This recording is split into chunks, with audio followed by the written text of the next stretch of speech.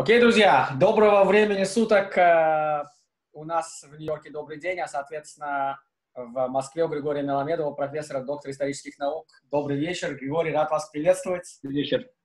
Добрый вечер, Эвен. И рад... Доброе, доброе время суток. И рад приветствовать всех, кто с нами. Доброго времени суток. И у нас с вами уже четвертая встреча по истории Иерусалима. И сегодня, ну, мне кажется, один из самых интересных периодов.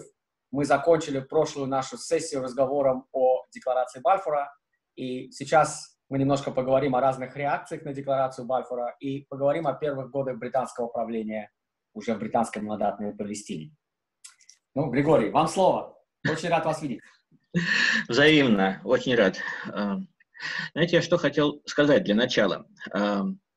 Во-первых, мы э, постараемся немножко ориентироваться на те вопросы, которые были в прошлый раз. Поговорим э, и о деятельности Рава Кука в Лондоне э, в, в тот период, когда э, обсуждалось принимать или не, принимать декларацию Бальфора. Э, и немножко поговорим о том, почему э, все-таки лорд Монтегю выступал против это вообще принципиальный вопрос. И дело в том, что эм, мы увидим, насколько это перекликается с современностью.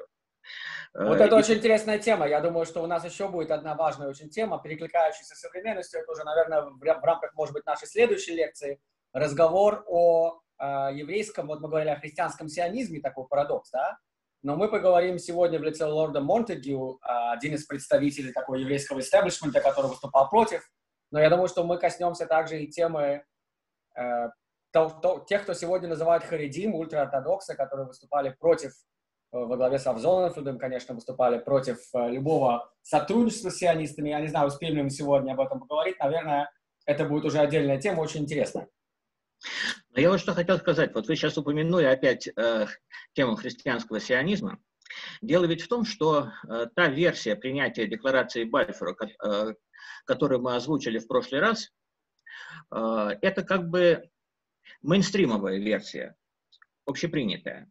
Ну, э, так вот, вкратце, что э, Англия не хочет делиться с Францией, нужен какой-то повод, чтобы оставить Палестину себе. Вот используется, используется такая комбинация с обещанием евреям. Вот. Но Здесь далеко не все ясно. Здесь есть очень много разных мнений. Э, вот, например, есть э, очень интересная книга, называется «Библия и меч». Автор э, Барбара Хакман. Она не только американский историк, она еще и внучка американского посла в Османской империи, вот как раз в этот период, в период Первой мировой войны. И она пишет очень интересные вещи. Она э, полностью разбивает доводы о том, что э, якобы это, э, это все было сделано для того, чтобы привлечь э, еврейские общины э, Америки, американских банкиров или привлечь э, кого-то из революционного руководства э, в Советской России. Вот. А, она пишет, что совершенно невозможно себе представить, чтобы британские лидеры того периода были настолько наивными. Дальше она говорит, что вообще говоря, что же э, это так, э, за политика такая, э, если взять э, удельный вес э, сионистов э, среди, всех э, еврейских течений того времени, ну точнее их влияние, то это не будет большинство. Если брать сторонников ассимиляции, если брать харидим, они как раз отнеслись ко всему этому отрицательно поначалу. И, в общем-то, парадоксальная ситуация, что англичанам приходилось уговаривать евреев сплошь и рядом, мы это сегодня увидим. Вот. Э, и дальше она приходит к очень интересному выводу. Я сейчас, одну секундочку, прямо вот отсюда даже зачитаю. Невозможно, предп... невозможно предположить, что британское правительство было настолько наивно, либо настолько плохо информировано, чтобы не знать об антисионизме тех людей, на которых якобы пыталось оказать влияние. Ллойд Джордж обладал трезвым рассудком, Бальфур – холодным, острым умом. Неужели следует поверить, что они при поддержке Милнера, Черчилля, генерала Сматца и большинства фигур в империалистическом военном кабинете министров так небрежно провозгласили бы декларацию Бальфора. Несколько лет спустя Уинстон Черчилль скажет, едва ли найдется шаг, сделанный более взвешенно. И вот Хакман делает вывод. Сознательно э, или... Эта взвешенность, скорее всего, имела какую-то цель. Сознательно или нет, этой целью была британская, а не еврейская совесть.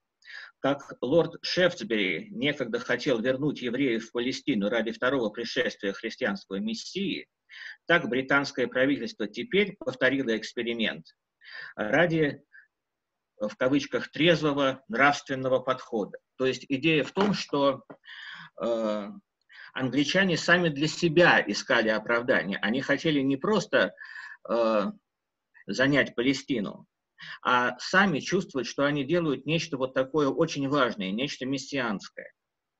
И споры на самом деле на эту тему не утихают до сих пор. Э, вот, и я думаю, э, вот не знаю, вы со мной согласитесь или нет, как только начинают говорить о еврейско-христианском диалоге, вот о э, отношениях, о современных отношениях, начинают вспоминать Холокост и другие моменты. Так вот, мне кажется, что э, э, ситуация с декларацией Бальфура, когда вдруг э, по непонятной вроде бы причине э, э, всю английскую верхушку, аристократическую, весь истеблишмент охватил такой энтузиазм по поводу создания еврейского национального очага, вот э, если мы в этом не разберемся, если мы не поймем когда-нибудь, я имею в виду мы в широком смысле, э, в чем же здесь дело, что это за ключик, то мы не разберемся в еврейско-христианских отношениях.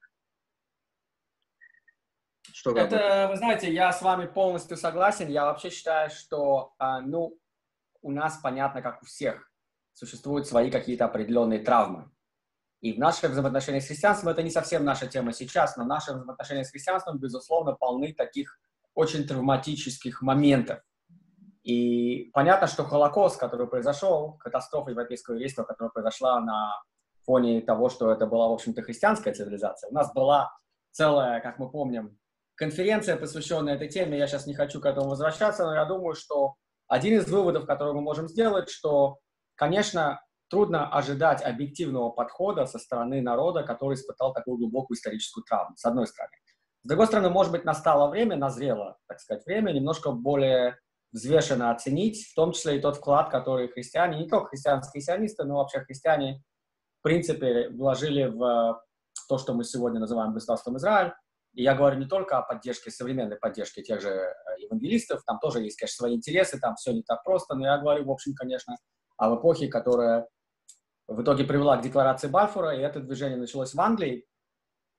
И, ну, вообще, на самом деле, я с вами согласен. Вот есть такая замечательная книга, которую написал, она есть на русском языке. Книга называется «Иерусалим». Очень хорошая книга, и она в свое время продавалась в издательстве Гишарим. Автор этой книги сэр Мартин Гилберт. Мартин Гилберт, как вы знаете, официальный историк, э, он написал прекрасную биографию Уинстона Черчилля, который тоже, кстати, был в плеяде христианских сионистов. О Черчилле, я думаю, мы еще отдельно поговорим. И вот здесь э, он очень подробно описывает, здесь интересные очень вообще в этой книге моменты из описания того, как вообще выглядел Иерусалим в начале 20 века. Здесь огромное количество информации, книга очень интересная. И вот он описывает, как Иерусалим праздновал вход Аленби. Ведь Аленби, это было руководство из э, Лондона, входит в Иерусалим, и была большая буря эмоций, когда он туда входит. Мы знаем, что капитуляция была подписана три раза. При этом англичане повели себя очень скромно. Он входит, в отличие от, как в свое время, мы помним, кайзер Вильгельм, его карета не проходила в Явские ворота, был сделан специальный пролом, пролом в стене ради кайзера Вильгельма. Алленби входит пешком. Он входит как пилигрим. Он входит к стенам святого города, и нету знамен. Нету знамен ни одной из победивших армий. Это были инструкции, прямые указания из Лондона. То есть Иерусалим обладает особым статусом. Очень спорная фигура, в особенности в сионистских кругах, первый градоначальник Иерусалима Рональд Сторс, которому принято предписывать такой, если хотите, антисионизм. На самом деле фигура достаточно интересная. Рональд Сторс пишет очень много о том, какое значение имеет Иерусалим для Израиля, для еврейского народа. И миссия англичан, он пишет об этом несколько раз в своем дневнике, состоит в том, чтобы придать Иерусалиму должный статус. Иерусалим, который был провинциальным городом, должен стать подлинной столицей. Это город, который должен стать столицей. И один из самых известных указов Рональда Сторса – это, конечно, его один из первых, в общем-то, указов о том, что в городе будет запрещено строить любые постройки, кроме как из знаменитого белого иерусалимского камня. Мы Рональду Сторзу во многом этим обязаны. Вот, кстати, сейчас я покажу вам его фотографию. Давайте посмотрим, как выглядел Рональд Сторс, первый иерусалимский городоначальник. А, вот что-то похоже у меня этой фотографии здесь нет. я прошу прощения. Ну, она у меня появится, может быть, чуть позже, я вам ее покажу. Но, во всяком случае, а, вот из описания, которое есть в этой книге, и во многих других, которые я читал, складывается картина, тем более, что мы знаем, что это действительно выпало на Хануку. Завоевание Иерусалима англичанами, это была третья свеча Хануки. И на тот момент энтузиазм был огромным. В английских кругах, в еврейских кругах. Что интересно, даже арабы на первом вот этом этапе еще достаточно дружелюбно это восприняли, тем более, что имя Алленби у них ассоциировалось с Аль-Наби, то есть пророк, и он пришел из Египта, и были какие-то арабские, как здесь пишет Мартин Гилберт, были какие-то арабские истории, связанные с тем, что пророк или потомок пророка должен прийти из Египта освободить арабов от турецкого гнета. Такие довольно интересные вот здесь приводят документы. Но мы знаем, что это отношение очень быстро изменится.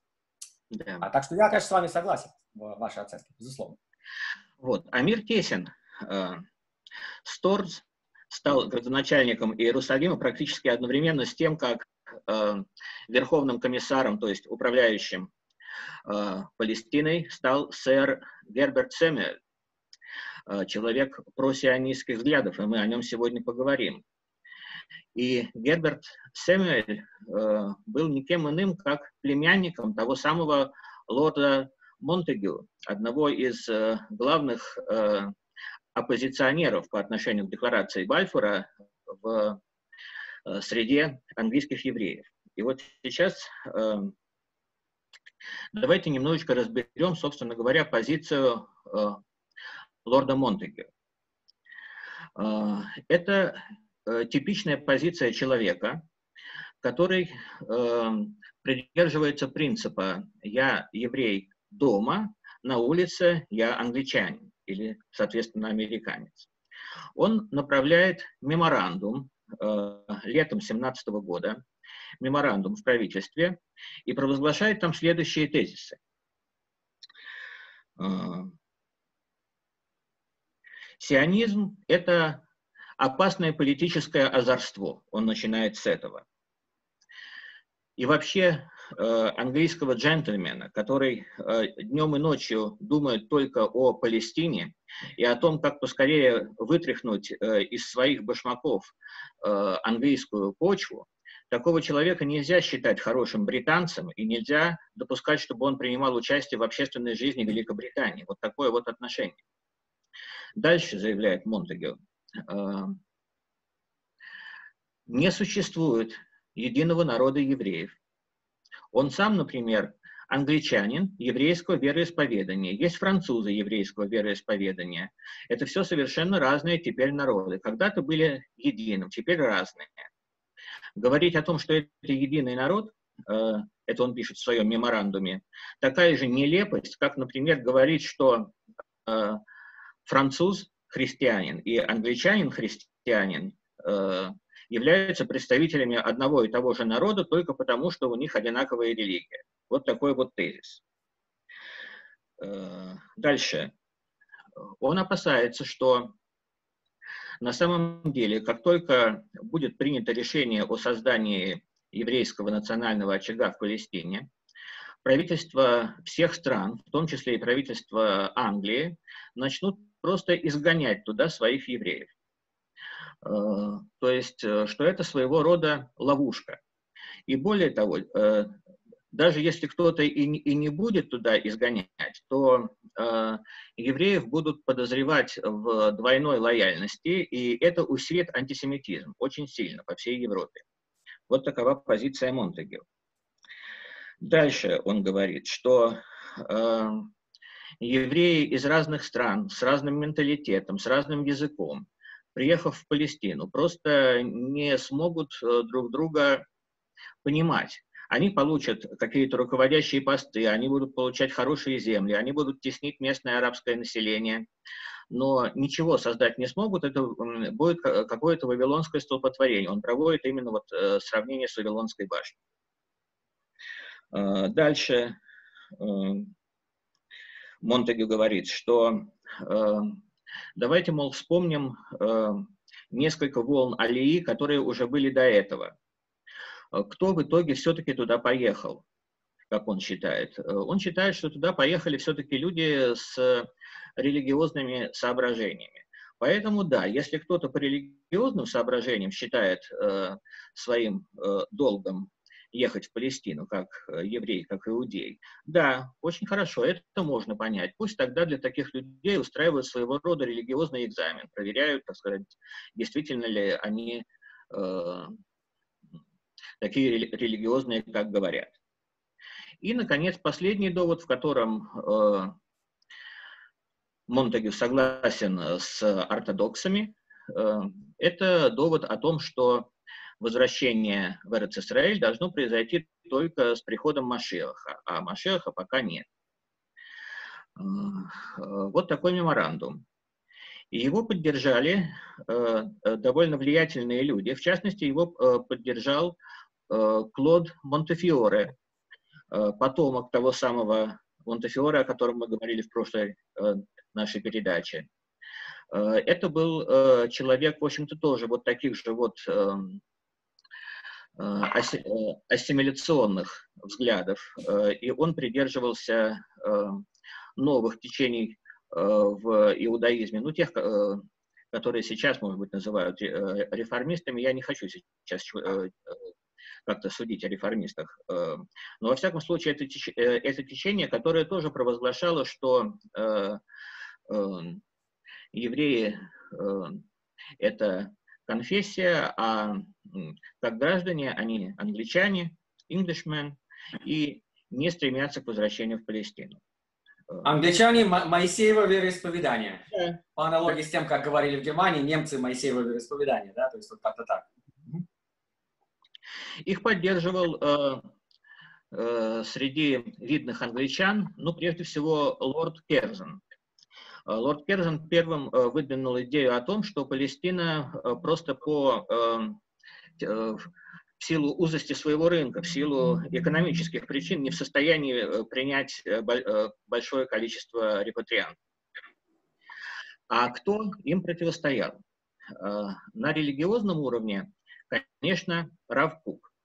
На уровне такой светской политики представитель дома Ротшильдов Э, Уолтер Ротшильд. Причем Уолтер Ротшильд э, совсем не был э, изначально сторонником...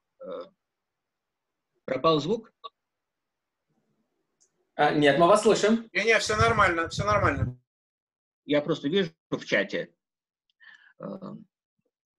Да, так вот, значит, Уолтер Ротшильд Э, сначала тоже относился к сионистам очень скептически, тоже считал это политическим озорством, но его, как ни странно, э, убедили представители э, английской аристократии, то есть как раз тот случай, когда англичане убеждают евреев.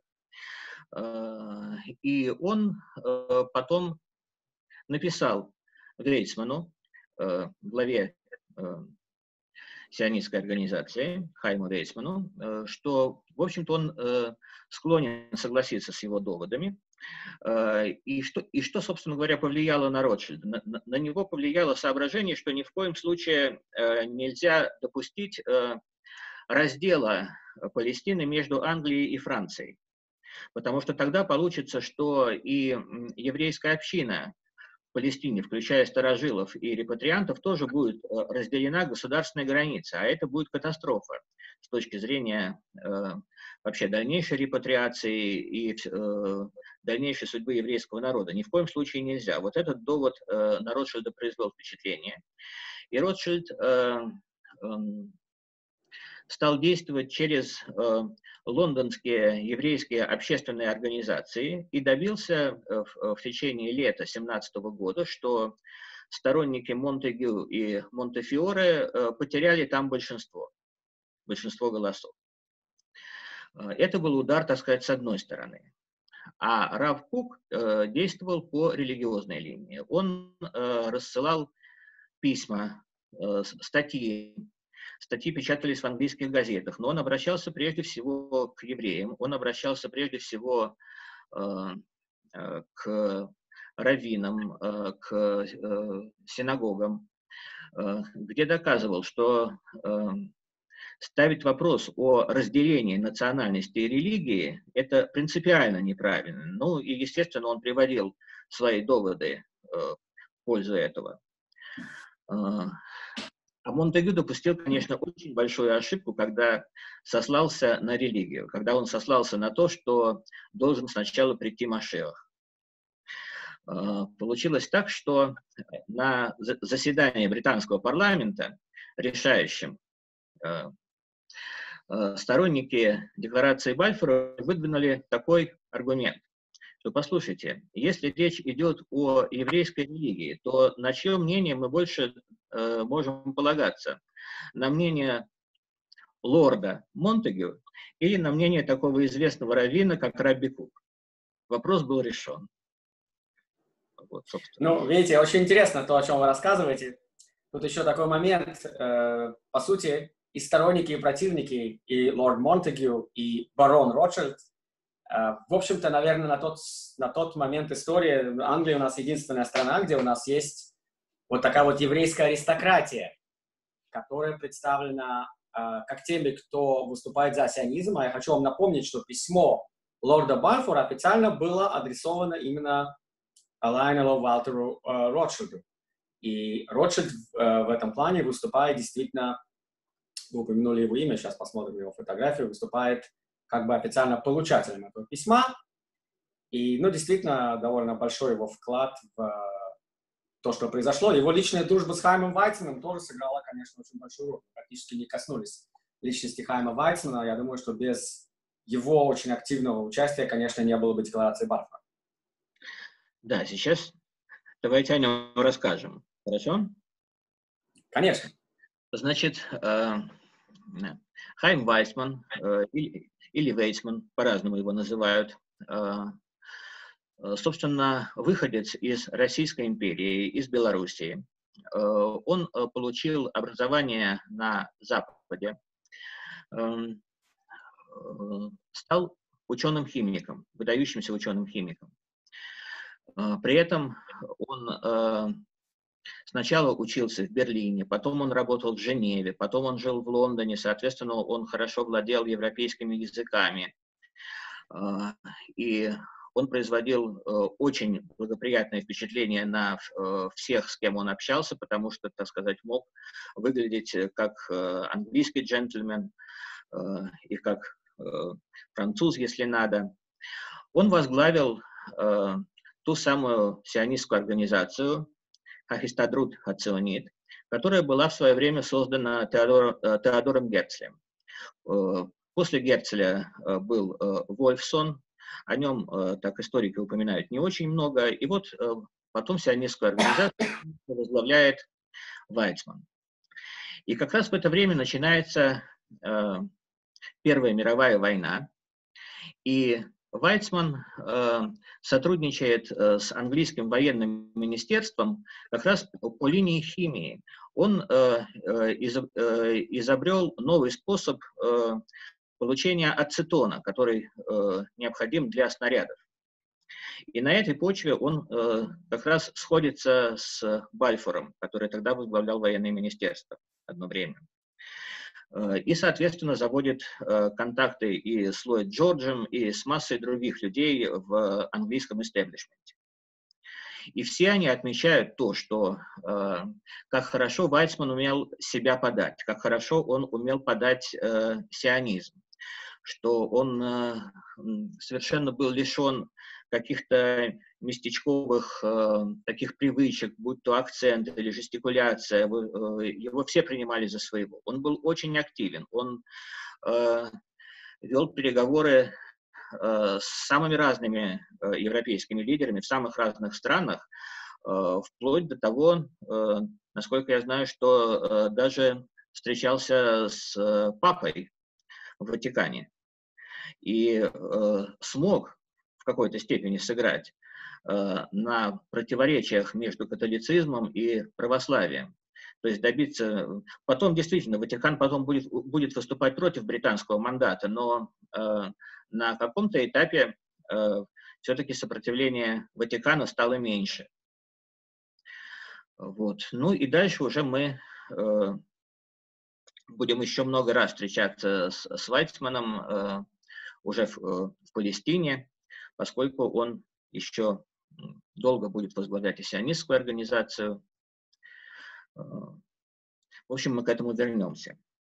Еще один вопрос, который нам задавали... Ну, здесь несколько фотографий, с вашего позволения. Это фотография его довольно а, может быть, не столь широко известная. Вы видите здесь печать британского Foreign Office, фотография 1915 года, то есть как раз того времени, о котором мы с вами говорим. А, это фотография его в Нью-Йорке с э, Эйнштейном и встречи с еврейскими делегациями. А это уже довольно широко известная его фотография более позднего периода. Мы знаем, что он будет играть очень важную, важную роль дальше в сионистском движении. Но мы еще об этом явно поговорим. Э, кто-то э, кто пошутил, что если Ленину придать немножко больше семитских черт, то они будут в один. Вот, как раз глядя на эту фотографию. Вот. Но в прошлый раз э, был задан еще один очень интересный вопрос. Почему часть евреев, сионистов, известных людей, в частности, Бен-Гурион, эм, Моше Шарет, будущий, э, если не ошибаюсь, министр иностранных дел в правительстве Бангуриона, э, э, и многие другие. Почему они в начале Первой мировой войны призывали к тому, чтобы поддерживать Турцию, а не Англию? Причем, если Бен-Гурион не успел повоевать на турецкой стороне, то Моше Шарет успел. И, между прочим, Э, это, прошу прощения, те соображения, которыми они руководствовались, это отнюдь не глупости. Это были соображения очень и очень серьезные. Прежде всего, э, э, многие еврейские репатрианты в Палестине при турках имели статус, ну, как сейчас сказали бы, это вид на жительство но они считались гражданами тех стран, откуда они приехали, в частности, например, Российской империи. И поэтому существовала угроза, что турки их просто вышлют. Э, уже были такие прецеденты, что э, турки выслали группу российских граждан, не разбираясь, кто там э, христианин, кто еврей, кто, кто, кто какой национальности, выслали их к англичанам в Египет. И, конечно, этого нельзя было допустить. Второй момент.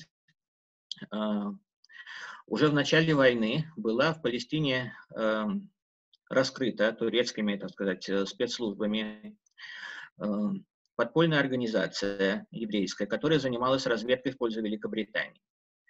И это могло бы иметь очень плохие последствия, если бы еще что-нибудь такое было бы э, раскрыто то обвинение в нелояльности, вспомните, что случилось с армянами. А, еще очень важный момент такой, что ведь э, в Палестине в годы Первой мировой войны была настоящая гуманитарная катастрофа. Э, там мало того, что там был голод, э, там была эпидемия холеры, потом еще эпидемия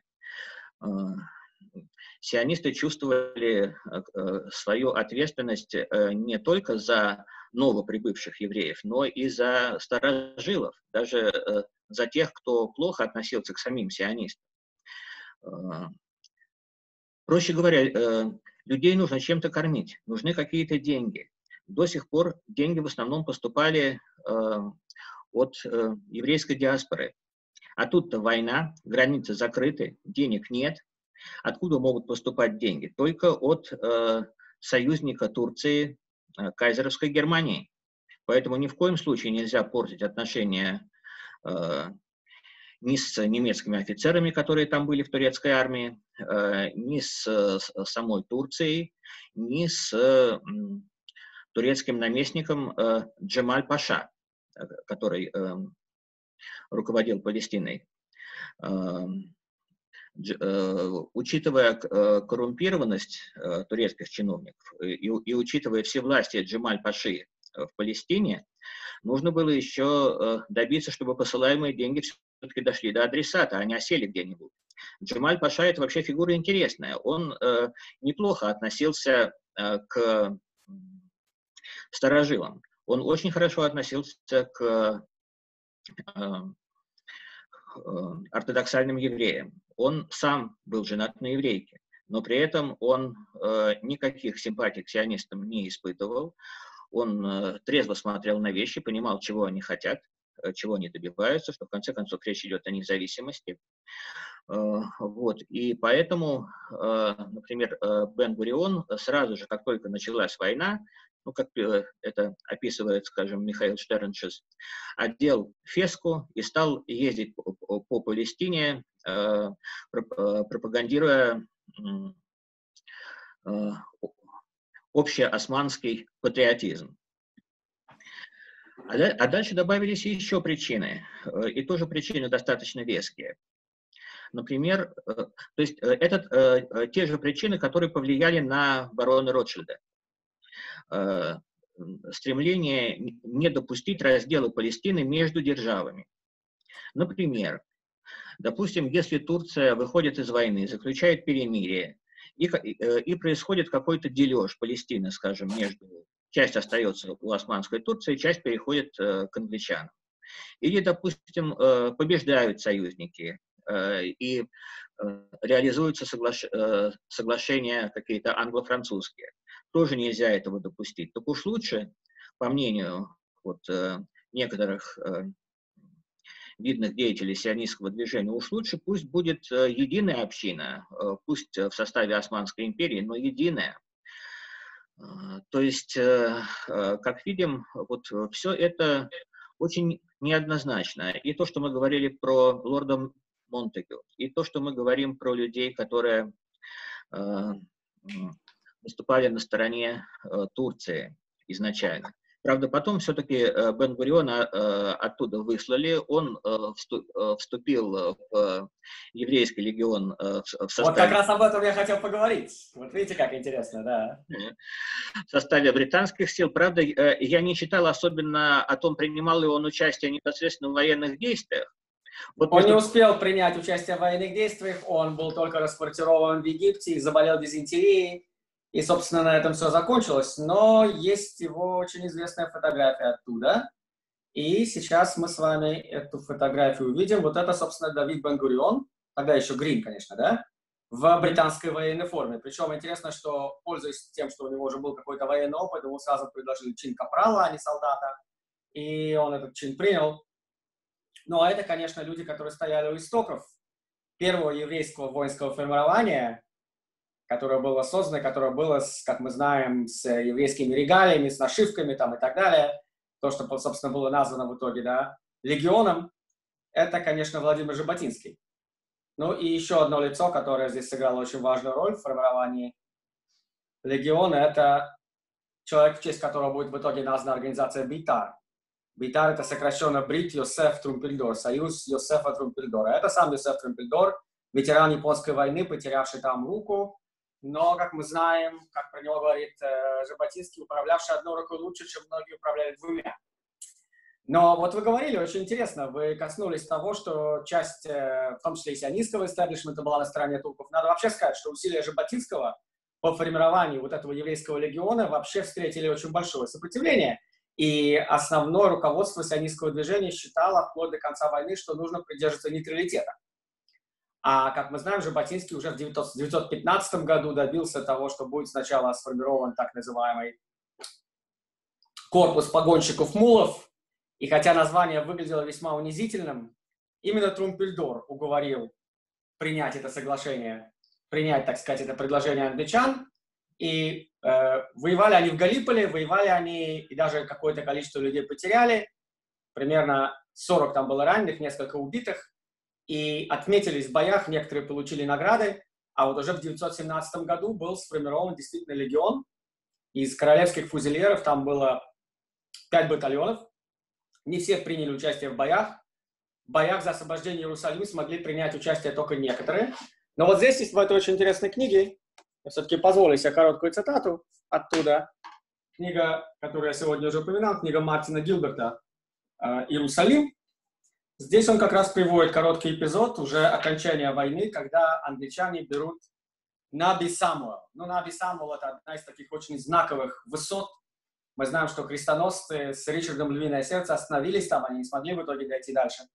Англичане захватывают Наби Самуэл в конце ноября 2017 года. И вот что пишет здесь Мартин Гилберт.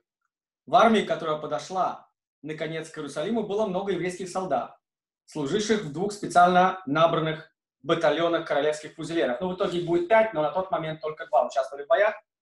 Известных как еврейские батальоны или жиды, ИДС. Они, кстати говоря, их, конечно, ну, в британской армии все-таки, конечно, присутствовал антисемитизм, что уж говорить, как, наверное, всюду в то время их называли, соответственно, э, жиды, они сами взяли себе такое вот идишское, такое, ИДС, евреи.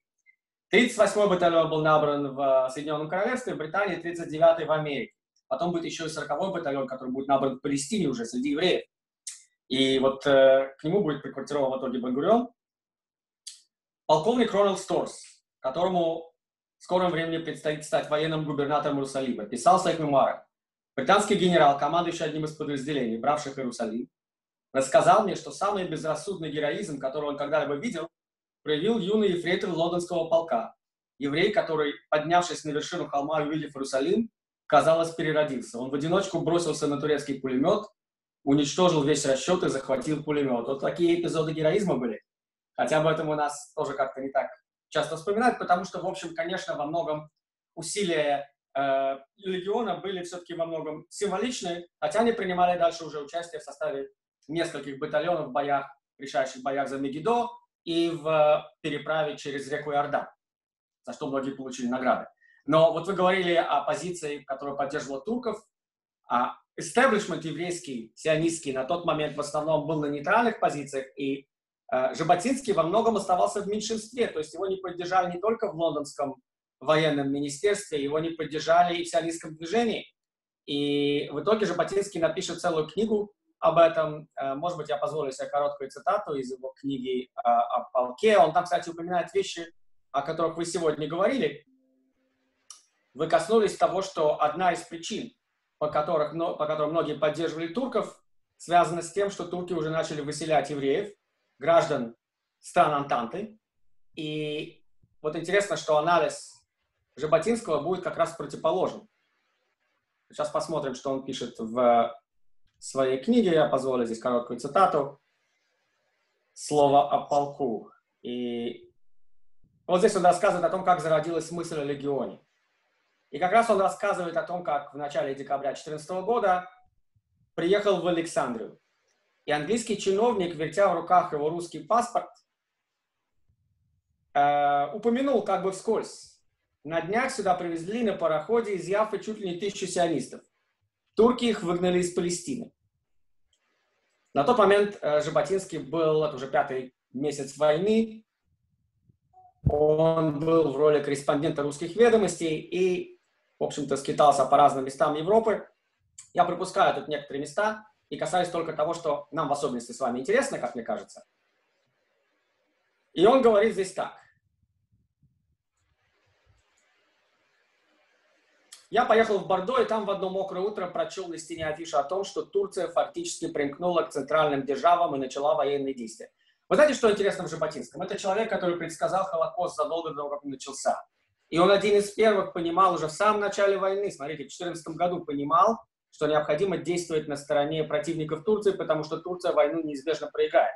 И он на тот момент абсолютно в меньшинстве. Вот что он пишет здесь.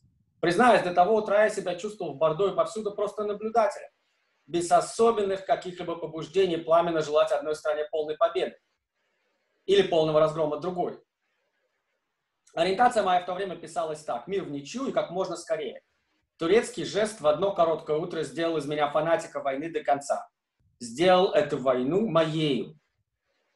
Ну и он здесь, я пропускаю некоторые подробности, но вот то, что интересно здесь, и то, что нам важно, как мне кажется, в том, что Турция, раз она только вмешалась в войну, будет разбита и разрезана в клочья, у меня сомнений не было.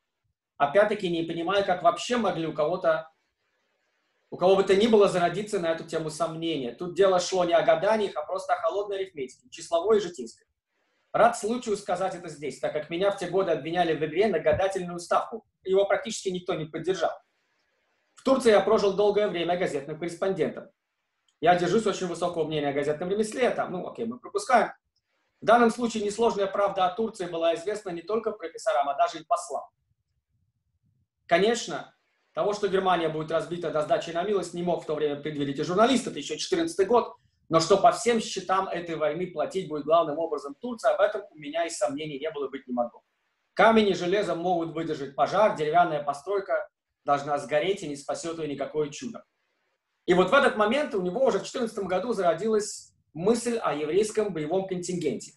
Он не помнит точно когда и где, а, но он говорит,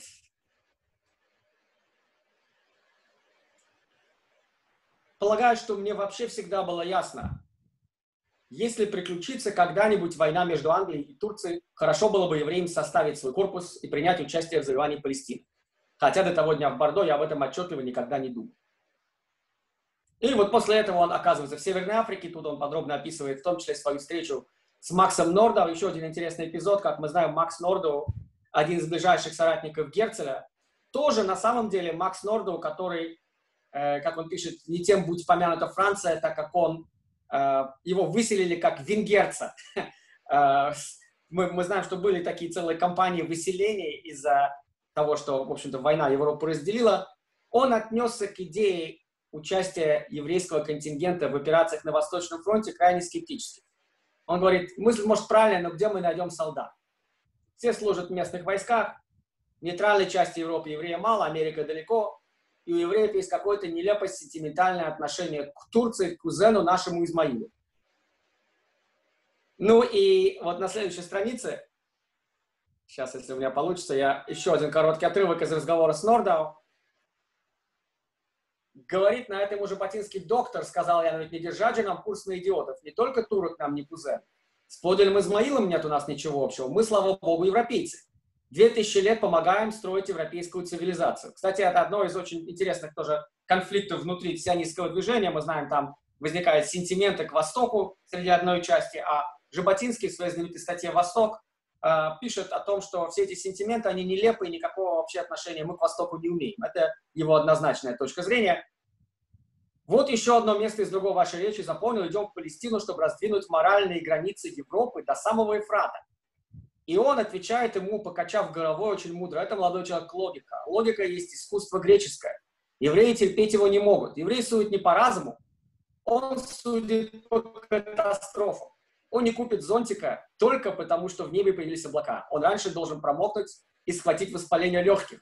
Тогда другое дело. Это мне что-то напоминает в нашей истории. Знаете, неоднократно повторялось. Много прошло времени, пишет Жаботинский, пока постиг всю правду этого замечания. И тогда, между прочим, обнаружил, что есть на Земле еще одно племя с точно таким же отношением к логике, тучам и зонтику. Это англичане. Ну, мы знаем, что Жаботинский, помимо всего прочего, был еще и англофил. Ну, вот такая цитата из Жаботинского. Спасибо, интересно очень. Но, знаете, вообще, э, э, э, все-таки э, уже по ходу войны ситуация стала меняться. Э, во-первых, очень сильно выросла численно и консолидировалась сионистская община Соединенных Штатов. Если в самом начале войны ее, конечно, даже нельзя было сравнивать по влиятельности с Великобританией, то к концу уже, в общем-то, можно. И э, эта община э, особенно после того, как Америка вступила в Первую мировую войну, эта община уже э, поддерживала э, идею еврейского национального очага в Палестине. Э, э, другое дело, под, э, под чьим мандатом, английским или американским, это отдельный разговор. Дальше. Изменилась немножко ситуация на фронте. Все-таки Жаботинский, конечно, был прав, но дело все в том, что Э, с одной стороны, после э, русской революции, когда Россия вышла из войны, турки смогли перебросить в Палестину те части, которые до этого воевали с Россией, а это численно было очень много.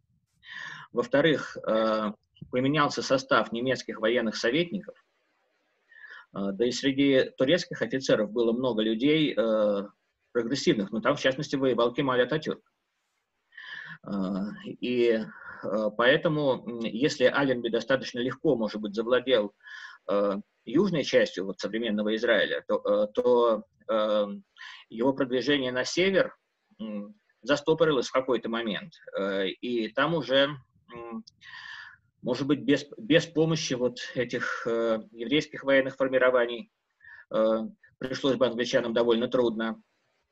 И, кстати, упомянем, что среди сионистов, которые воевали за освобождение Палестины, многие воевали в составе, собственно, британской армии, э, я имею в виду не в составе еврейского легиона, э, и среди них был э, молодой сын Герберта Сэмюэла, человека, который станет первым английским верховным комиссаром Палестины, и о котором, может быть, мы сейчас поговорим с вами. Конечно, конечно. Я вот сейчас как раз найду фотографию Герберта Сэмюэла. Личность достаточно интересная.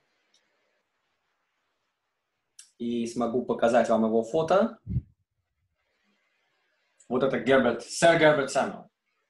Я пока напомню, что он племянник того самого лорда Монтегю. То есть практически у нас семейный конфликт. Да, практически семейный конфликт. А, значит, эм, это, эта фигура, честно говоря, мне очень симпатична, очень. Э, э, прежде всего, э, Самуэл стал первым евреем, именно евреем, который не отказался от своей веры, который получил пост в правительстве Великобритании. Дальше он поддерживал очень близкие отношения с Вайцманом. Он э, поддерживал, между прочим, сионистов и евреев э, не только в этот период своей э, деятельности, но и потом. Э, он э, перед Второй мировой войной будет очень активно э, э, пробивать идею, чтобы Англия э, приняла еврейских детей из Германии, чтобы она вообще принимала еврейских беженцев. Э, он э, очень много всего сделает. Э, ему ставят в вину некоторые вещи. Ему ставят в вину, например, то, что во время его правления, так получается, что это хронологически совпало, образовалось государство Трансиордания, и фактически э, идея... Мандат был как бы разделен, получается. Да, мандат да. был как бы разделен. Дальше его обвиняют, что якобы э, э, именно он э, стал продвигать идею, что Палестина может принять только такое количество евреев, которое соответствует экономическим возможностям в данный момент, то есть сколько можно, так сказать, там найти рабочих мест. Обвиняют его во многом, что он неправильно оценил Хаджамина Аль-Хусейни и помог ему стать муфтием. Сейчас мы обо всем этом поговорим. Есть еще время? Я постараюсь быстро. Итак. Э, ну, и обвиняет его в погромах 20-21 годов, которые были. Да. В ходе да. которых, кстати, когда мы помним, было вооруженное сопротивление, которое Жаботинский, его люди оказали, Жаботинский будет арестован. Но, э, насколько я знаю, Сэмюэл все-таки э, э, прибыл э, туда, в Палестину, чуть-чуть после этих событий. И, и, и как раз одним из своих первых э, э, указов он освободил Жаботинского и разрешил вернуться высланному из страны Хусейни. Или я ошибаюсь, Ровен? Ну, хотя, впрочем, это не так важно. Раз уж мы э, заговорили сейчас... Кстати, честно говоря, не проверял, я просто помню, что были такие обвинения в его адрес, надо будет проверить. Значит, э, ну, во-первых, давайте э, Пойдем по хронологии. Э, итак, Герберт Сэмюэл является э, верховным комиссаром. Сейчас я зажгу свет, хорошо, а то уже становится темновато. Он становится Верховным комиссаром Палестины в 2020 году и будет занимать э, этот пост до 1925 года. Э, интересно, как исторический анекдот почти рассказывают, что когда он высадился в Яффо и э, принял как бы власть от э, предыдущего, от своего предшественника, э, руководителя военной администрации э, английской, то он написал расписку. Э, принято Палестина в количестве одна, дата, подпись. Э, ну да. Он, вообще говоря, но если говорить о достижениях еврейского Ишува в период, когда Сэмюэл руководил английской администрацией в Палестине, то это прежде всего увеличение количества еврейского населения практически в два раза, увеличение количества населенных пунктов еврейских э, практически в два раза.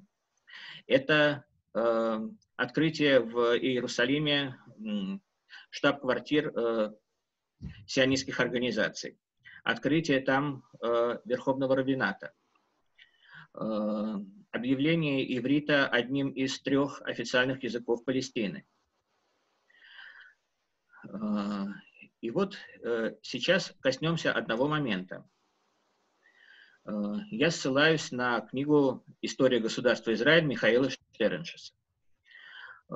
Сэмюэль только-только приехал в Палестину. Происходит его встреча с сионистским руководством. Такой большой, ну, большой зал, торжественный.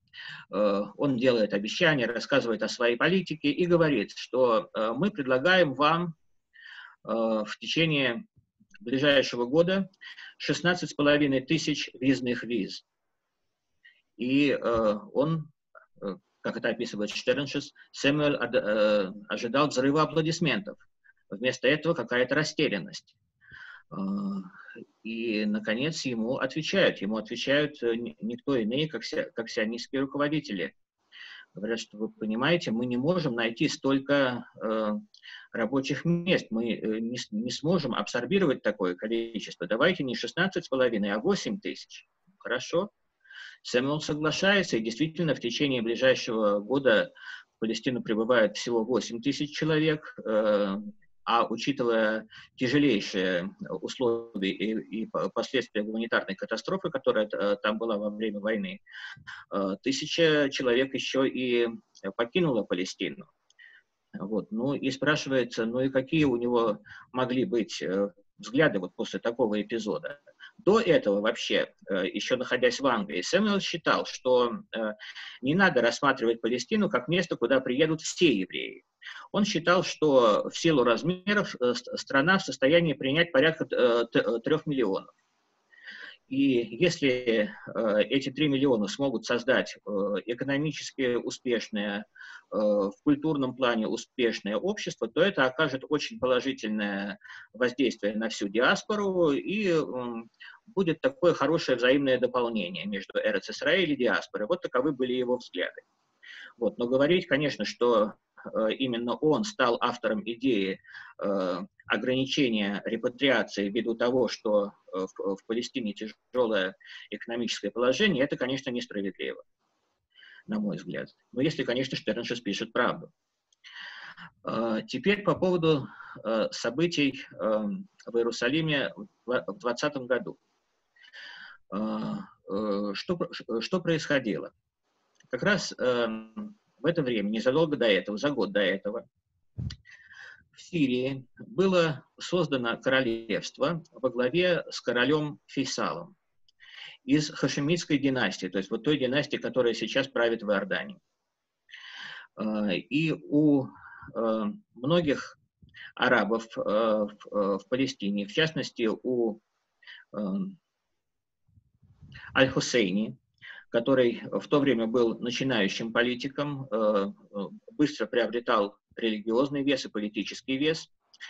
Э, у Хусейни э, возникло предположение, что англичане благосклонно отнеслись бы к идее вхождения Палестины в королевство Сирии. И тогда, во время праздника Наби Муса, сейчас поясню, это мусульманский праздник в честь пророка Моше, которого арабы называют Муса.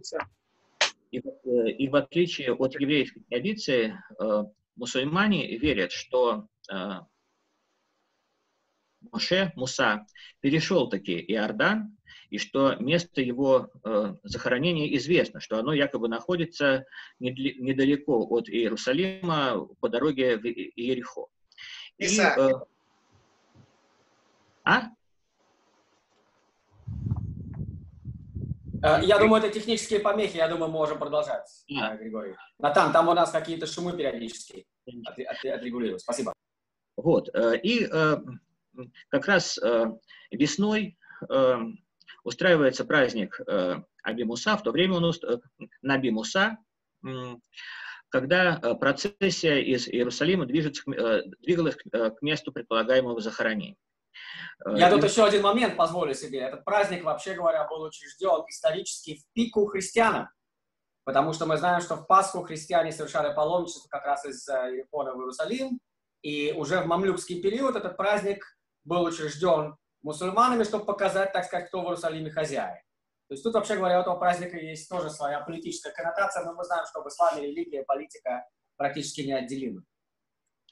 Да, спасибо. И так получается, что поскольку э, христианская Пасха и еврейский праздник Песах э, находятся всегда э, по времени довольно близко друг к другу, и э, Наби Муса выпадает тоже на этот же период. То есть э, получалось, что сразу три праздника в это время.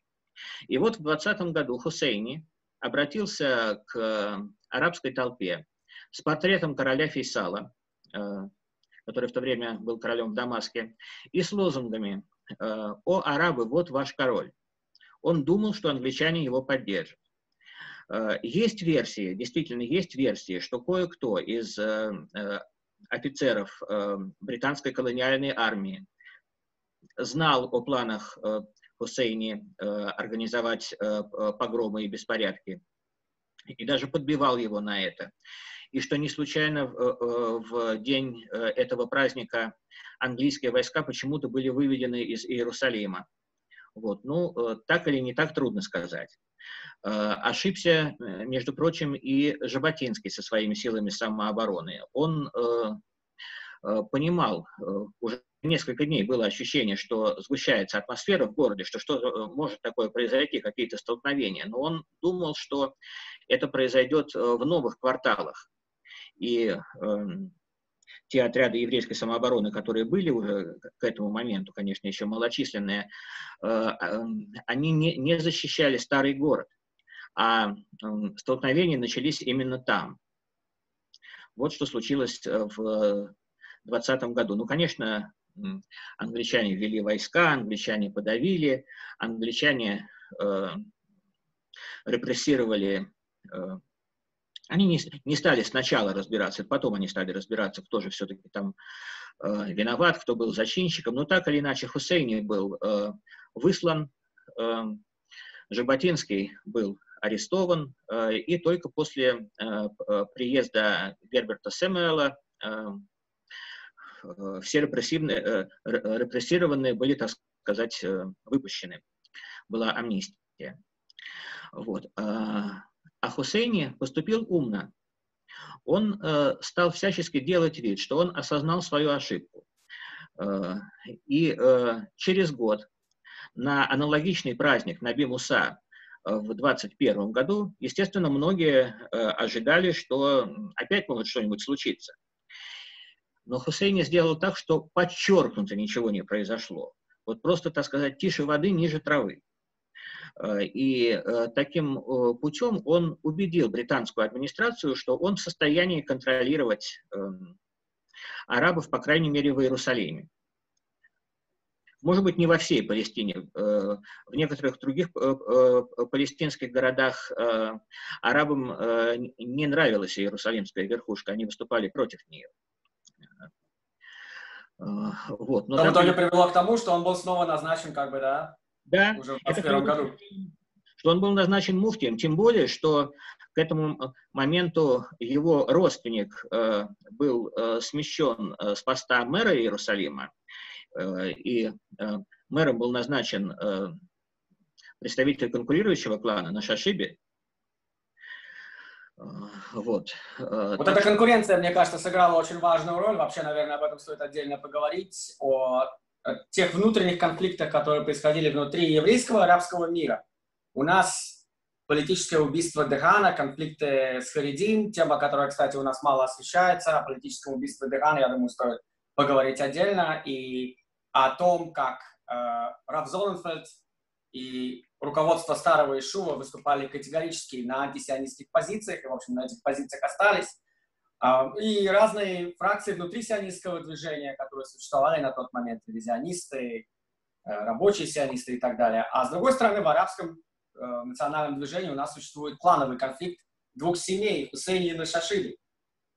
Да, и если говорить об арабском движении, то тут надо вот э, еще что учитывать, что и для англичан, и для еврейских поселенцев, для руководства сионистского движения, все-таки э, арабской стороной, то есть э, тот человек, с которым вести переговоры э, э, по другую сторону, так сказать, э, стола переговоров, был э, Абдалла, э, эмир только что созданной Трансиордании. Э, ни, никто не воспринимал э, того же самого Аль-Хусейни как э, политического лидера, который может хоть что-нибудь возглавить, хоть какое-то государственное образование. А он сам этого очень хотел. И поэтому получилось, что э, он, э, так, сказать, оказался в некоем вакууме таком политическом. Дальше он допустил Хусейни, я имею в виду, если так вот его а, анализировать, что он стал делать дальше. Да, он, он действительно гарантировал на какое-то время, на несколько лет, э, э, относительно мирное сосуществование, ну, по крайней мере, со стороны арабов э, в Иерусалиме. Но он стал играть на мусульманском поле. Он стал апеллировать к общей исламской солидарности, продвигая идею о том, что создание еврейского национального очага и сионистские идеи – это а, угроза для всего мусульманского мира, и все должны здесь сплотиться. И э, это выразилось фактически просто в, его э, подрывной деятельности, в призывах к восстаниям, естественно, не против евреев, а против э, английской администрации, э, вообще в антианглийских настроениях, э, и там же в Трансиордании, и дальше в Хиджазе, вот туда, в сторону Аравийского полуострова, и этим он восстановил против себя англичан. И добавим к этому еще, что э, действительно э, арабские шейхи э, других городов Палестины были недовольны гегемонией э, иерусалимских семей, и не случайно общепалестинские арабские съезды вот в период мандата проходили, как правило, не в Иерусалиме, а в других городах. Э, и, в общем-то, ну, мы, мы потом посмотрим, к чему все это привело. Для, э, по крайней мере, для палестинских арабов ничего хорошего в этом не было. Ну и э, а для, для евреев тем более, поскольку Хусейн оказался радикалом, и он постоянно подпитывал такие погромные настроения. Просто, просто в первые годы он еще способствовал сохранению такого отношения. Ну да, и погромы 29 -го года, и, конечно, восстание, арабское восстание официально против англичан, но которое тоже привело к огромному количеству погромов 36-39 -го года, в ходе которого в итоге Хусейни в итоге будет выслан. А, ну, как мы знаем, по большому счету, белая книга 39 -го года во многом станет результатом именно вот э, этого восстания Хусейни. Так что, конечно, для нас эта фигура достаточно роковая, тем более, что в годы войны, как мы знаем, он открыто выступил с поддержкой Гитлера. Да. Вот. Ну, а возвращаясь э, к первой белой книге, к белой книге э, Черчилля, э, это, да, действительно, там получила продолжение идея о том, что э, репатриацию евреев в Палестину нужно ограничивать, что ни в коем случае не должны ущемляться интересы арабов, что э, э, Трансиордания выводится из, э, из-под мандата. И это, конечно, было э, сильным э, ударом. Вот. Ну, к каким последствиям это привело, и, э, с другой стороны, что все-таки полезного сделали э, англичане э, в период, э, ну, ну, скажем, э, с 17 года и, например, по 25 -й. Наверное, сегодня уже поговорить не успеем, наверное, уже э, на следующий раз, да?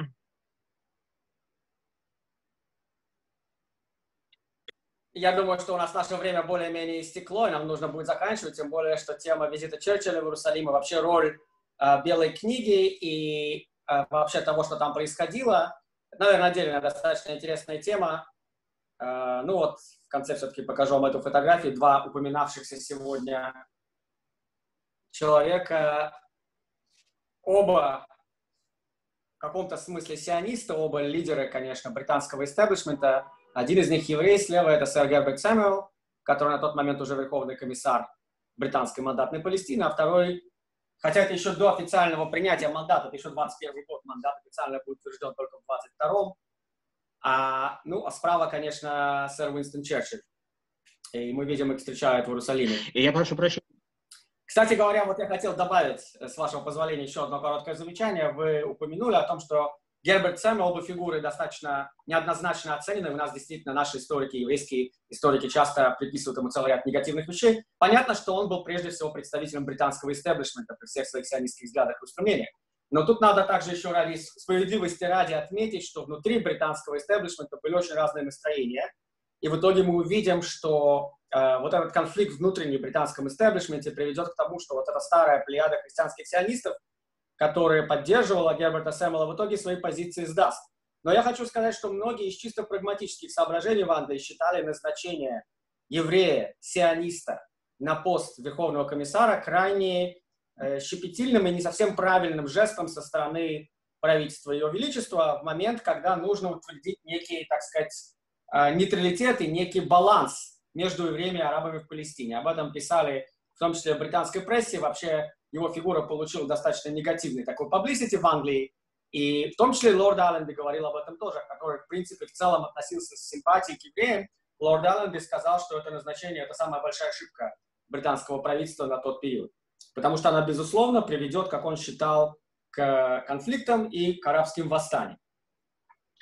Но так сущности... что фигура оказалась не, не, несколько необъективно оценена и недостаточно объективно, так сказать, ее заслуги были оценены не только в еврейском мире, но в том числе и мы видим, что со стороны британского истеблишмента. Да, но если говорить о конфликтах э, в британском истеблишменте, то это были конфликты не только внутри правительства в Лондоне, но это э, был конфликт, так скажем, между Лондоном э, и колониальной администрацией. Э, центром, как бы, э, мозговым центром э, британской колониальной администрации вообще всего Ближнего Востока был, конечно, Каир в этот период. И э, те матерые волки, так сказать, британской дипломатии, которые э, работали в Каире, были настроены совершенно не так, как э, лондонская аристократия, которая в какой-то момент поддержала декларацию Бальфора. Эти люди ее не поддерживали никогда. Э, и э, там было и ну, может быть, не до откровенного саботажа, но во всяком случае можно себе представить, какие документы и докладные оттуда шли в Лондон, уже и э, при военной администрации, и в, в, в то время, когда Сэмюэл был верховным комиссаром.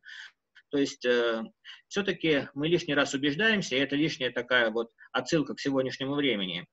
Лишний раз мы убеждаемся в том, что э, решается все-таки все на местах. Э, решается все на месте. Можно о чем угодно договариваться в Европе, но будет э, так, как происходит в Палестине. Точно так же, как мы в следующий раз увидим, что европейские державы и Соединенные Штаты долго-долго спорили о британском мандате, о контроле над святыми местами, какие там выдвигались предложения насчет комиссии, а в итоге все решило только то, что британская армия стояла в Палестине.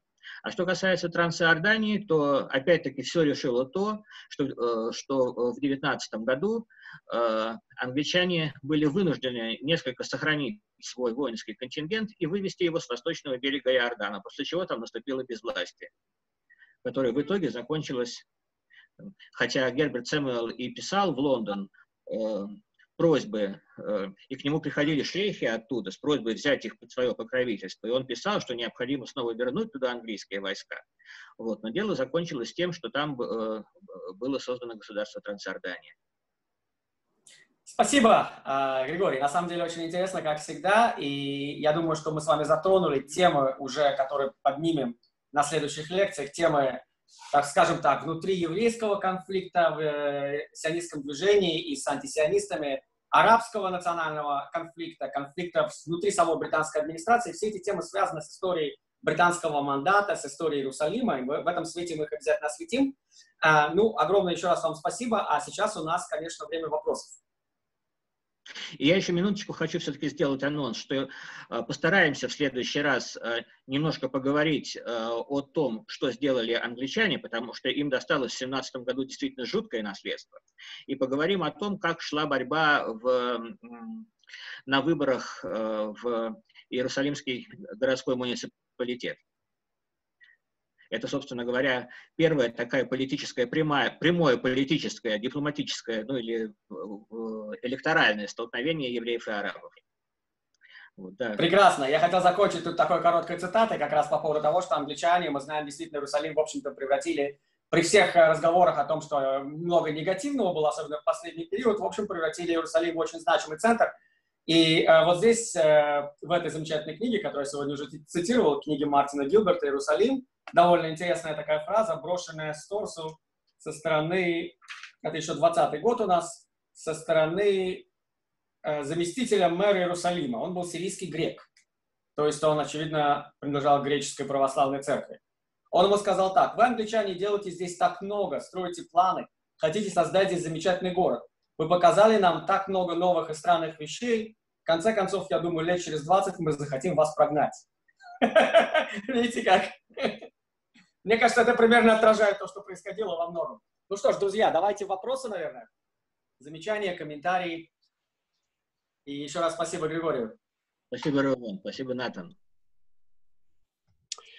А, Григорий, это Дани Паланкер. У меня вопрос. Э, вы рассказали о разных точках зрения значит, еврейского истеблишмента, который имел какое-то влияние на принятие там декларации Бальфура и дальше, но как э, количественная еврейская община в Англии разделилась за и против сионизма? Э, кроме вот этих двух-трех примеров лидеров, как Эдвин Монтегю и другие, вот в массе своей было примерно пропорциональное движение, как бы за и против, или было гораздо больше за, чем против? Э, как это было количественно? Вы знаете, постепенно, конечно, ну, просто время работало на сионистов, и э, их э, влияние постепенно увеличивалось. Кроме того, естественно, все-таки сказалось то, что они победили в данной ситуации. Э, декларация Бальфора все-таки была принята. Э, э, и идеи Раба Кука оказали большое влияние. Вот. Но, э, с другой стороны, то, о чем мы можем говорить, это касается Лондона. Э, если говорить э, глубинки, если говорить какие-то особенности, может быть, э, Шотландии, Ирландии. Кстати говоря, у Англии вообще скоро возникнет совсем новые проблемы, потому что ей пришлось разбираться с Ирландией, ей пришлось разбираться с Индией, вообще повестка дня сместилась. Можно в какой-то степени сказать, что просто эта тема ушла куда-то. Э, она перестала быть такой злободневной. В конце концов, э, большинство, большинство все-таки английских э, евреев это были люди, ну, достаточно ассимилированные. И даже если они и сохраняли связь с еврейской традицией, то там все большее постепенно влияние получали реформ, э, реформизм, э, консерваторы и так далее. Вот. А, а, а скоро уже наступили времена нацизма в Германии. И э, вопрос уже был э, не в том, право сионисты или не право, а в том, э, что можно сделать или ничего нельзя сделать. То есть... Григорий, я немножко у вас чуть-чуть поправлю, если вы позволите. Все-таки реформистское и консервативное движение в Англии на самом деле не особо распространено, но можно говорить скорее о том, что английские евреи традиционно достаточно культурно ассимилированы, и фигура, вот, например, э, раввинов английских, в отличие от э, раввинов во многих других европейских стран, они скорее следовали такой немецкой модели. Это должен быть широко образованный человек, который прежде всего отражает интересы англичан в целом. И уже дальше следует еврейским интересам. В каком-то смысле даже последний главный раввин Британии, очень такая знаковая фигура, фигура лорд Сакс, во многом, в общем, этот продолжал эту, эту же такую примерно политику, а, до него, мы знаем, были другие очень знаковые серьезные фигуры, Герц, и все они занимали достаточно амбивалентную позицию в отношении поддержки сионизма. Это интересно, что вот э, современная, скажем, политика, еврейская политика в Америке примерно такая же. То есть э, в Америке сейчас гораздо больше, э, больше сионизма исходит от э, христианской э, скажем, э, американской общины, чем от еврейской. И поддержка Израиля, и в том числе это сказывается на практической политике Трампа. Это евангелисты задают тон, а не евреи, э, произраильский, просионистский. И похоже, что в Англии во времена декларации Бальфура тоже, в общем, тон задавали, сионистский тон задавали э, христианские э, сионисты, а не еврейские.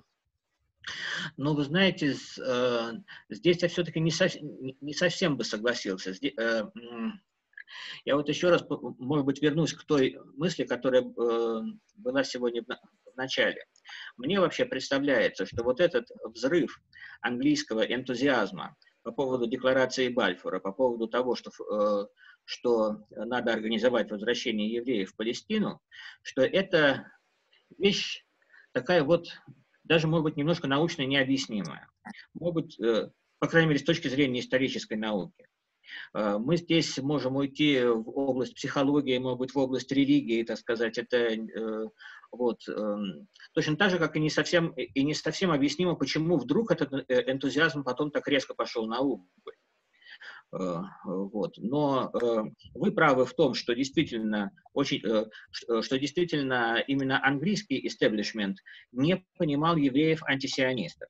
Вот они этого не понимали. Сионисты были им понятны, как националистическое движение, так сказать, легитимно, нормально, обычно, обычное дело, везде в Европе такое есть.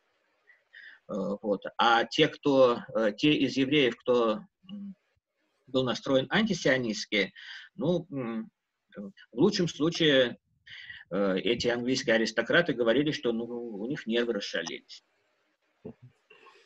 У нас будет очень интересный прецедент, о котором мы, наверное, поговорим в следующий раз в связи с, в связи с э, отношением э, э, сионистов в период британского мандата и харидимной общины, и политическим убийством Техана.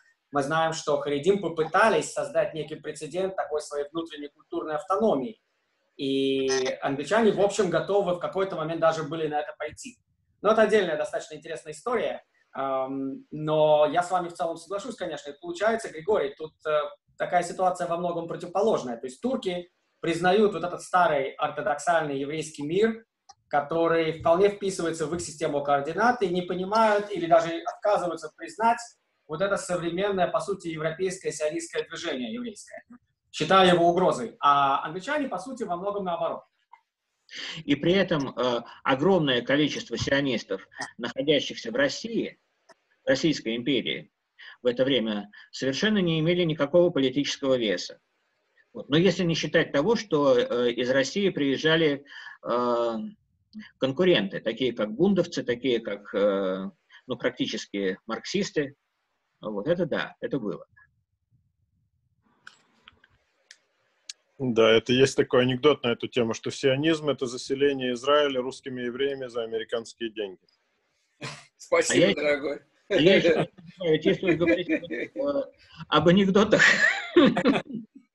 если уж говорить, э, говоря о серии Герберта Сэмюэля, есть ведь еще один факт. Он впоследствии возглавит э, станет первым руководителем англо-палестинской э, электрической компании, той самой, которая сейчас известна как э, Хеврат Хашмаль. Вот. Э, и по этому поводу тоже будут шутки, что э, британский мандат – это британское правление плюс электрификация всей страны. Можно добавить? Пожалуйста.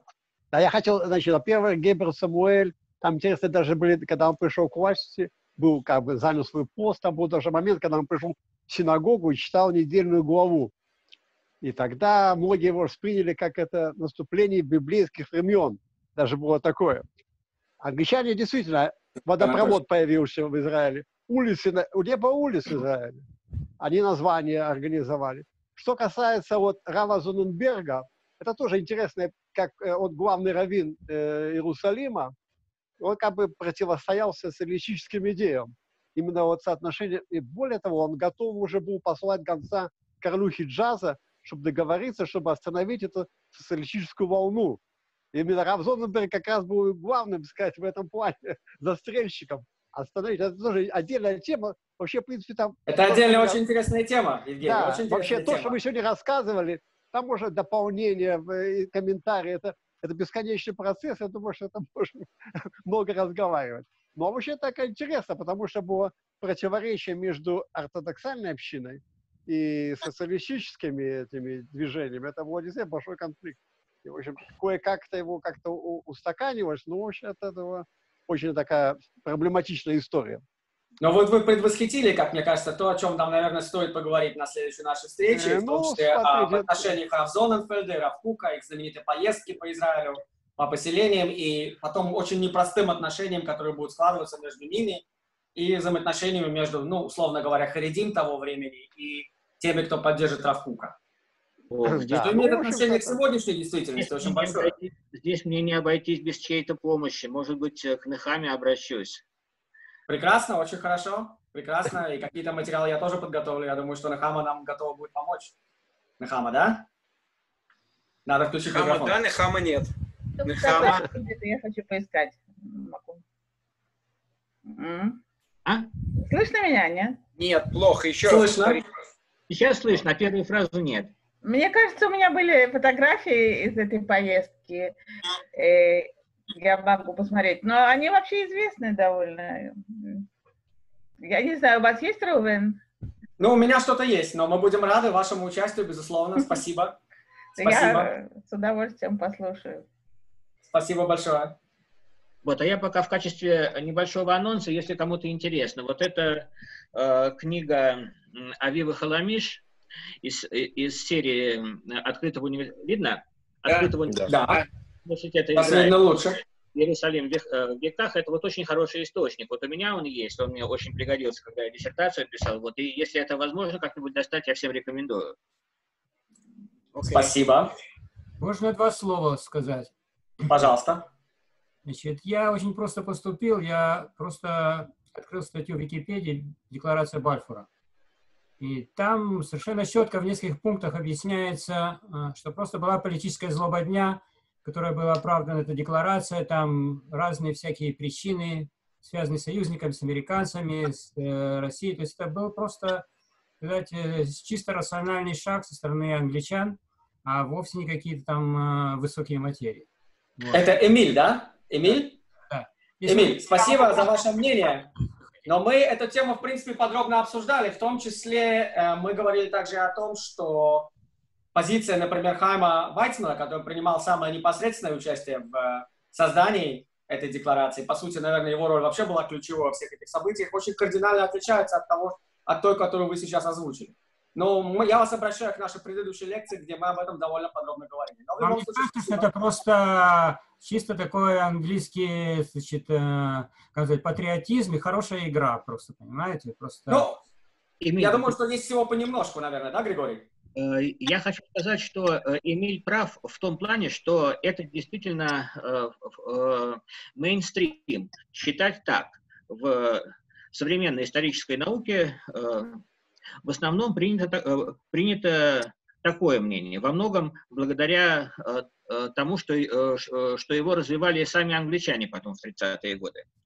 Вот. Но есть люди, которые с этим не соглашаются. В частности, вот упомянутая сегодня Барбара Хакман, которая написала книгу «Библия и меч», дочь посла американского при администрации Вудро Вилсона в Османской империи. Очень интересная книга. Э, она э, придерживается другого мнения.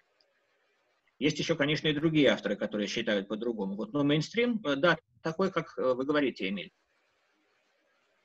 Просто это имеет продолжение, мне кажется. Например, я считаю Трампа нашим лучшим другом, но я так думаю, что здесь тоже есть совершенно рациональные политические интересы, а не...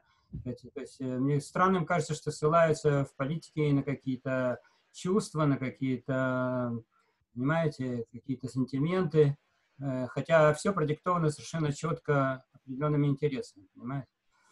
Э, мне кажется, что именно в примере современной политики и Трампа здесь есть сочетание и чувств, и реальной, то, что называется, реальной политики. И поэтому это такая интересная вот аналогия. Ситуация, на мой взгляд, очень параллельная тому, что произошло тоже был в Голливуде. Бальфура. Он учился у евреев хорошо играть, так что в Голливуде. Понимаете, это... Но, друзья, не забывайте, что в отличие от ситуации того времени, основная группа поддержки Трампа, которая обладает очень большим влиянием в Америке, это евангелисты. А евангелисты однозначно стоят на религиозных позициях, это именно христианский сионизм. Поэтому как бы, ну, этого нельзя не учитывать. Это вода... Уже говоря о том, что родственнички Трампа – это товарищ Кушнир, так что мы там, безусловно, играем определенную роль. Я бы не стал этого недооценивать. Но если вернуться к э, вот, э, времени британского мандата и декларации Бальфора, то мне кажется, что, ну, опять же, это мое мнение, есть очень разные подходы к истории и вообще к исторической науке. Мне очень близка гегельская идея Zeitgeist, э, дух времени. И мне кажется, в каком-то смысле, наверное, вот эти события ведь в конечном итоге мы верим в то, что история управляет Всевышним. Тут я уже немножко говорю, наверное, с религиозных позиций, да, пользуясь, так сказать, своим статусом равина. Я думаю, что, э, ну, Равку, кстати, мы знаем, часто это гегелевскую очень идею Цайгейс приводит, она в трудах Равкука очень важная. И, ну, мне кажется, что действительно можно говорить о том, что созрело это время. Я позволю себе даже короткий комментарий такой из э, Софачева Рэба, который очень интересный приводит комментарий к Магеллат Эстер связаны с декларацией Бальфура, как ни парадоксально.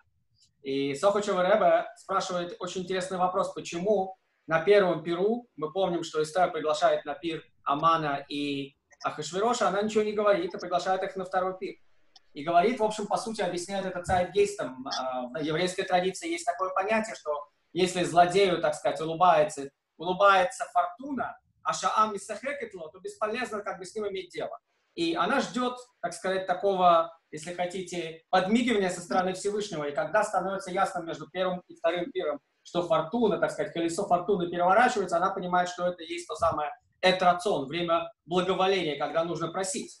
То есть это, в общем, некое понимание цайгейст. И вот именно в таком контексте, говорит Сохачеру, мы должны воспринимать декларацию Бальфора. Это подмигивание Всевышнего, это цайгейст, это, так сказать, начало некой новой эпохи.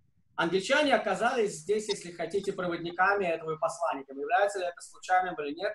Лично я, ваш покорный слуга, склонен считать, что нет. Ну, э, у меня есть определенное англофильство, которое, кстати, было уже Батинского, кстати, конечно, было и у Вайтина, и у многих людей в то время, которые активно участвовали в этом проекте.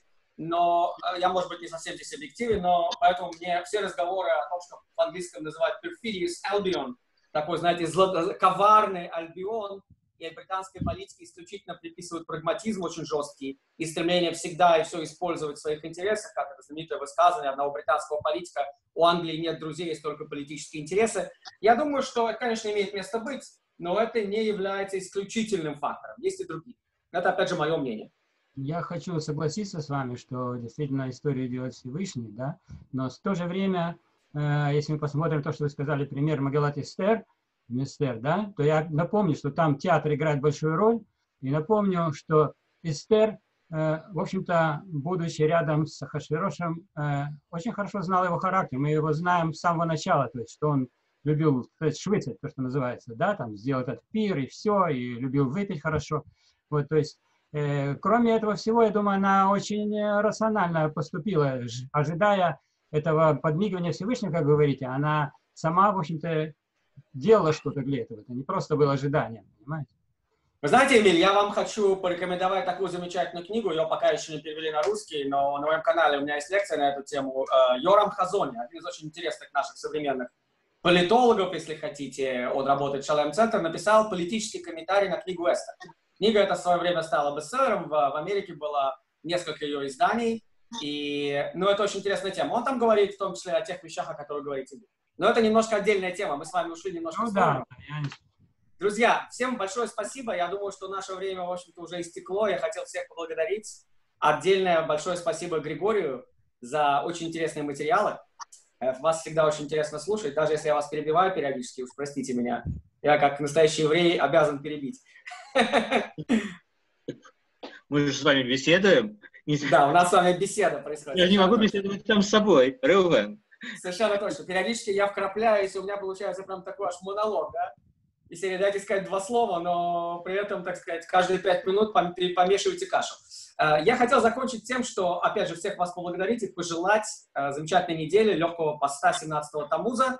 И если я правильно понимаю, Натан, мы решили, э, чтобы у нас было немножко больше времени подготовиться к встречам и получить ваши вопросы, эти встречи вести в формате по понедельникам раз в две недели у нас будет. Правильно, Натан? Э, да, общая идея такая, мы сейчас отрабатываем как бы эту схему, но вот э, та рамка, э, то, что называется встречи конференции, и они могут быть в формате, как сейчас, когда есть ведущий и когда есть, ну, скажем, э, лектор, да, ну и, соответственно, участвующие. Это один формат, а второй формат, когда есть ведущий, когда есть как бы несколько, несколько тех, кто представляют типа лекторы. Вот мы будем стараться это делать действительно раз в две недели. И это будет перемеживаться с тем, что одна неделя будет вот такая встреча, а на следующей неделе будет лекция самого э, Рувена. И таким Но она будет по вторникам, если я правильно понимаю, да? да, да, да, да, да. Вот эти лекции, которые сейчас, они будут, так мы надеемся, что они будут раз в две недели, окей? И, соответственно, всем будут рассылаться сообщения. А лекции самого Рувена, они будут в, тех в те недели, когда не будет э, вот этих э, встреч. Окей? Ну, Натан, спасибо за разъяснение большое. Я Да. прошу прощения, не окей. Потому что Рафаэловин сказал вторник, а Натан говорит раз в две недели в понедельник. Это разные О. вещи. Сейчас внесем, я, внес- внесем Окей, ясность. смотрите, на самом деле одна из больших проблем, люди, которые делают репатриацию, они просто им говорят, забудьте вообще название воскресенья пней, потому что это дико путает. Я вам скажу сейчас, как это для моего уха, да, а вы сейчас переведете это на... Бесетер, понедельник. шини и шлиши. Ну, Правильно, это вот по шини, разные, по шини, по- разные дни. правильно, разные дни. По шини, по понедельникам это онлайн встречи конференции. А по Йом Шини, соответственно, Йом Шлиши. Теперь уже вторник. э, Мои встречи по вторникам. Я объясню еще раз, чтобы вы не запутались.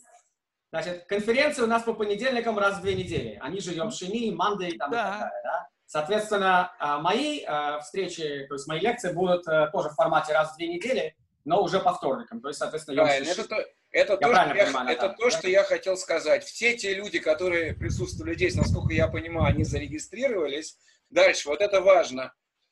Вот этот ваш линк, он э, справедлив для всех конференций, которые по э, Йом Шини по понедельникам. То, что касается лекций самого Раувена, я думаю, мы на самом деле сделаем так, для того, чтобы не сводить совершенно с ума, э, будет просто линк на Zoom и будет пароль, который будет просто высылаться людям и все. Окей, чтобы не было двух Да, регистраций. желательно как-то попроще сделать, а то периодически я сам не могу зайти. Твои, твои, твои лекции, твои лекции будет просто пароль и будет Zoom, а эти регистрации, почему я сказал, с некоторый технический момент, такой трюк. Почему? Потому что когда люди регистрируются, они оставляют мейлы. И я эти мейлы, я их добавляю в список рассылки, тогда я могу людям все время сообщать о том, что у нас происходит. Окей? И, соответственно, Натан, Замечательно. прошу прощ- каждый прошу второй прощения. понедельник э, мы встречаемся, да, и продолжаем эту серию. Правильно? Да, мы с Да. тобой, грубо говоря, встречаемся через, две, через неделю. Где? Ну как, не Да, на- то есть не, не в ближайший понедельник, который будет у нас, соответственно, 13 а 20 числа. Да. Да. Да? Окей. А то, что А будет в, в, в шини, в промежутке, об этом мы сегодня не говорим пока что. Это будут лекции, которые идут в рамках курса «Актуальные аспекты проблемы иудаизма», которая отдельная каждую тему, ее подбирает сам Ровин, а я сообщаю людям. Понятно. Хорошо? Натан, Натан, пока не кончили. Можно попросить вот э, вот книги, которые сказали про Иерусалим, две было там книги. Плохо слышно очень. Э, э, Сеня, Мне очень- удалось расслышать, что Шимон говорит про книги, которые Это да. упомянуты. это я тоже понял. Название и авторов можете послать по мейлу? Да, надо, надо будет послать вот эту книгу Мартина Гилберта «Иерусалим» и то, что упоминал Григорий. Григорий упоминал тоже пару книг Да, сегодня. Авида Саламиш, да. Пошлем. Я думаю, мы это пошлем. Пошлите, пожалуйста. Натан, можешь по... А, Шимон, вы можете написать на чат? Вас плохо слышно, какая-то проблема с Так. микрофоном. Напишите на чат, если можно. Сейчас я пока не. Присылать. Надо посмотреть, у нас на чате есть что-то, какие-то сообщения.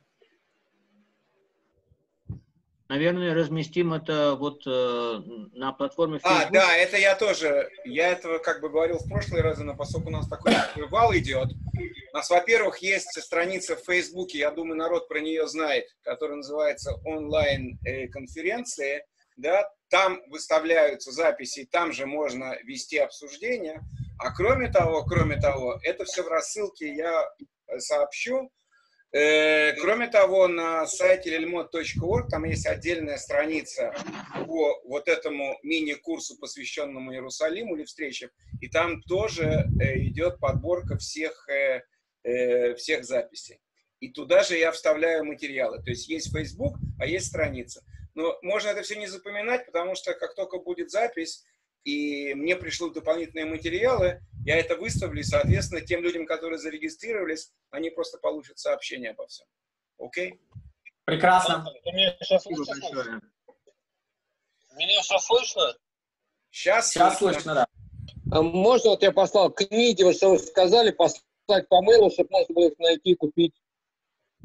Да, нет проблем. Э, Гриш, пожалуйста, и Рувен, те дополнительные материалы, которые у вас будут, пришлите мне, я подожду с опубликованием записи, и тогда сделаю это в- в одном сообщении. Хорошо? Спасибо огромное, спасибо. Прекрасно Очень сделано. интересно, огромное спасибо. Спасибо за Окей. ваш интерес, за ваше участие. Всем большое спасибо. Еще раз огромное спасибо Григорию, огромное Да. спасибо Натану за техническую поддержку и Шаркоах. Всем замечательной недели, легкого и осмысленного поста. И будем очень Спасибо. рады вас видеть. Окей, Да, мы очень рады. посещайте Спасибо. страницу в Фейсбуке, ставьте линки, э, слегка ставьте лайки, делайте шер, рассказывайте своим друзьям, приглашайте их делать регистрацию, присоединяться к нам. Окей. Да. Прекрасно. Всего Всем доброго. Всем Всего счастливо и доброго. пока.